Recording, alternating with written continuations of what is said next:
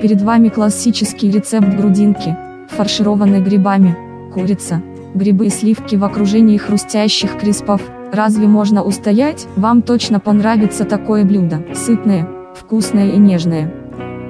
Такой рецепт приготовления грудинки фаршированной лучшим образом подойдет для семейных праздничных обедов, когда для торта все-таки не настолько подходящий повод, но как-то отпраздновать какое-то приятное для семейства событие хочется. В качестве спасения легко выступит это простое блюдо.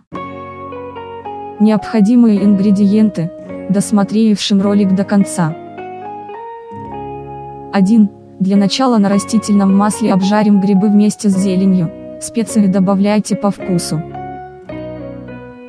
2. Грудки разморозим, если нужно, сделаем в них вот такие продольные надрезы, нафаршируем птицу грибами, края можно сколоть зубочисткой, чтобы держались, натираем грудки специями.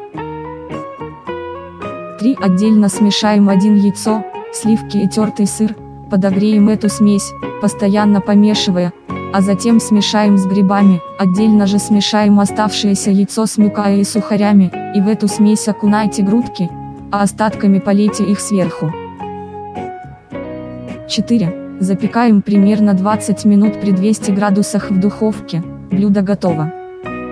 Подписавшись, не пропустите новые вкусняшки. Подписавшимся, больше вкусностей. Вот что нам понадобится.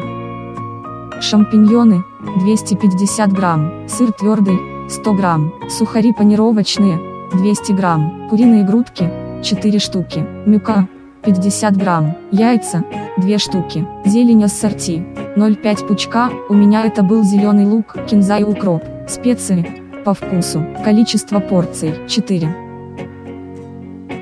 Ставим лайк и подписываемся, ваши отзывы очень важны. Заходите в гости.